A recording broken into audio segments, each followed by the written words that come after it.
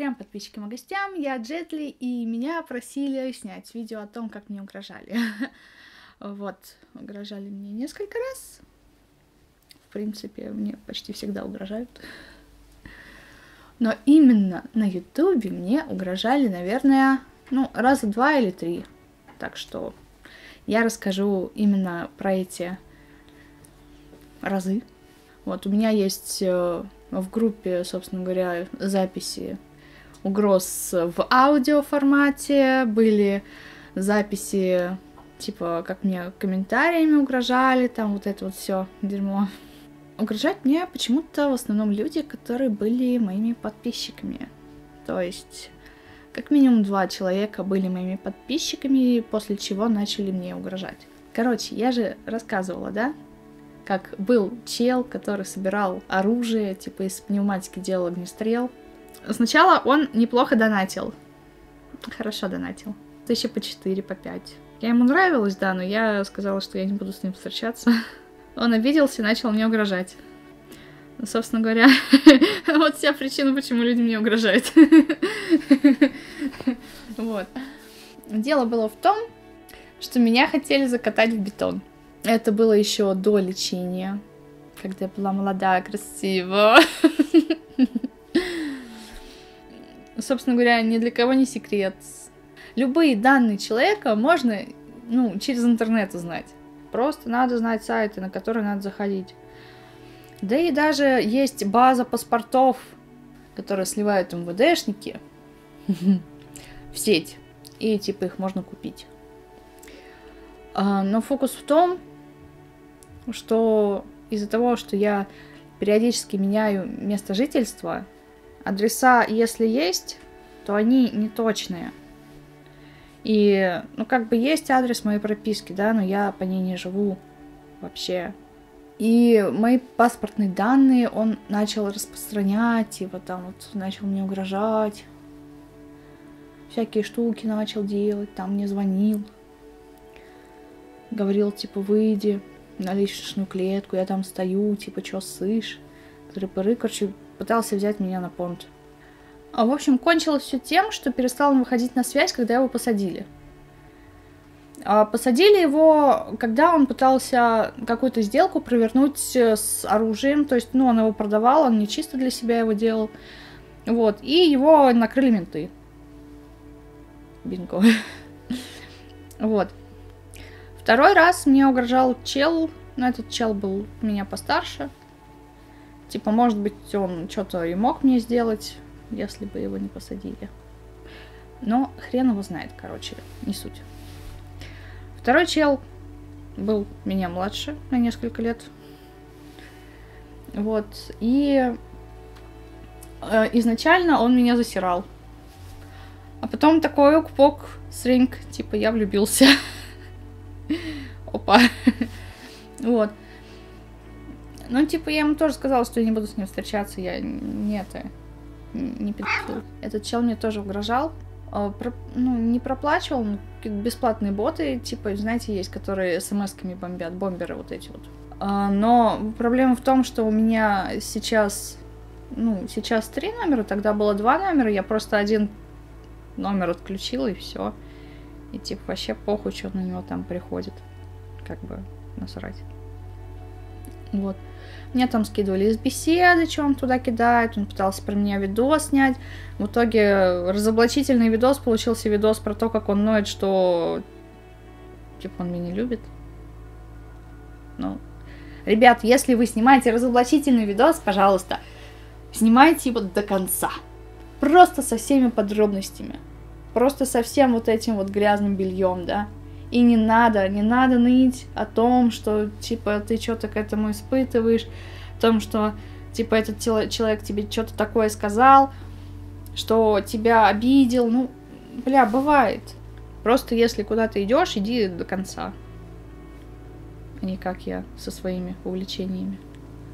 Этот чел состоит, состоит в ПНД. Я думала в ПНД написать по его району э, записку о том, что вот вы посмотрите вот со скринами, да, что он вот в интернете пишет. Ему нужно лечение принудительное, как бы, да. Но я подумала, что нахер заморачиваться. И, в общем, забила. Хотя он вроде как, если судить по этим скринам, пытался э, нанять человека, который выследил бы меня и побил. Он пытался нанять его по адресу прописки. Возможно, у него просто не хватило денег, да. Вот, но по адресу прописки я не живу, так что мне вообще все равно. Бомбер, конечно, немножко противненько, да, но не смертельно. И он на это тоже забил. И хорошо. Не пришлось ничего мне писать никуда. Ничего не пришлось мне никому скидывать. Ну так, в онлайне мне тоже люди угрожали, типа...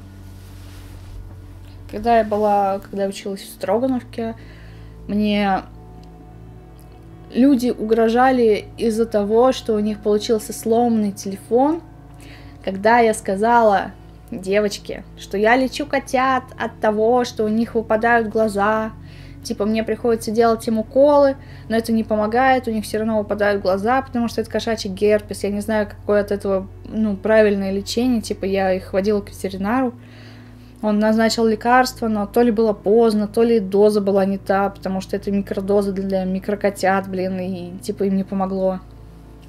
В общем, кто-то кому-то сказал, кто-то кому-то передал, вот, и в конце концов мне начали угрожать, что у меня вот, вот просто костьми лягут, но выкин, выкинут из этого института, потому что якобы я выковыриваю глаза котятам, якобы я живодер и все прочее. И я такая, блядь, ребят, а нормально поговорить со мной нельзя, типа узнать историю.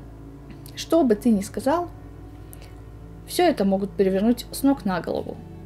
И сделать из этого какую-то пиздец трагедию, и тебе потом за это достанется.